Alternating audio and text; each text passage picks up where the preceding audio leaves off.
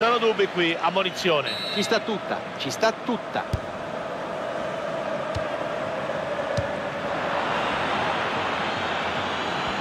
Va verso la porta.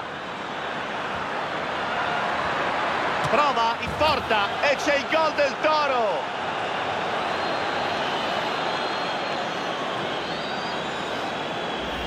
Non è certamente la sua giornata oggi, questo pallone non era affatto imparabile, insomma le immagini parlano chiaro.